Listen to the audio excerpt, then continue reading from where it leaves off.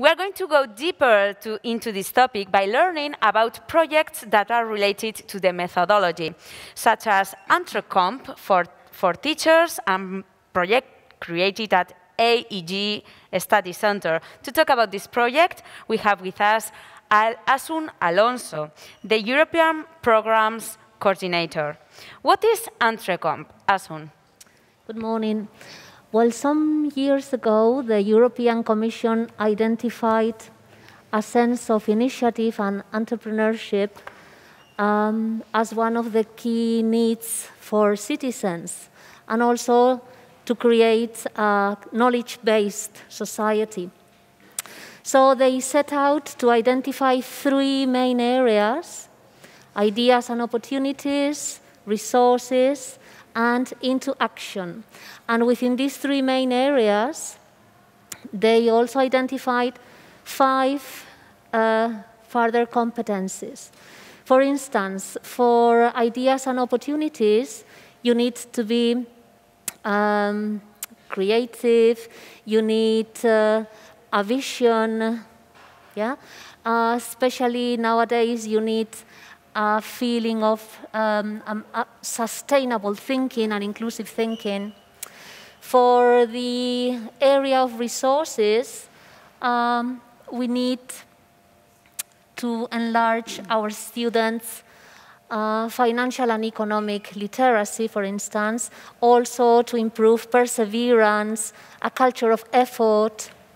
And for into action, we need to be able to engage others, um, to have um, social skills and abilities, and again, especially in these times, to learn how to cope with ambiguity, uncertainty, risk taking, and so forth. What is Entrecomp for teachers?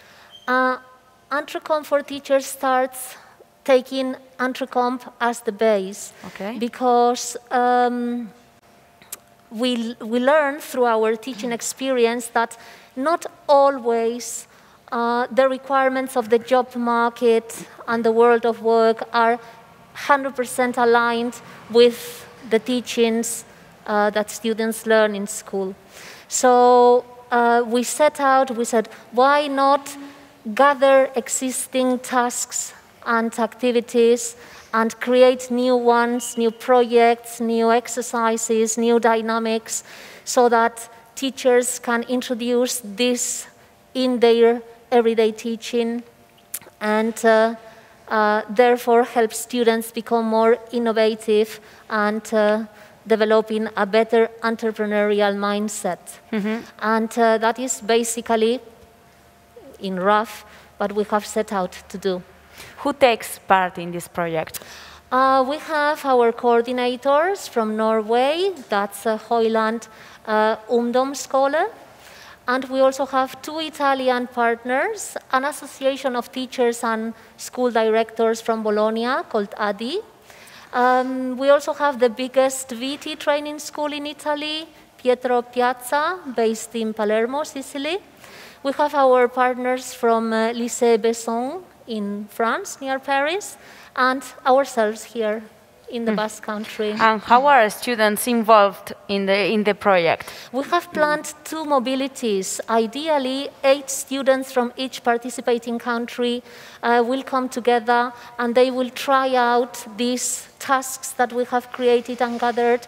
They will fill out pre-questionnaires, post-activity questionnaires, so that the, the core of the activities can be tried out before we extend that material to other teachers. That's the idea. So hopefully, on a couple times, groups of eight students will be working mixed by nationality, uh, language level skills, and so on. we wish you the best with your future endeavors, and thank you, Asun, for being here today with us. Thank you.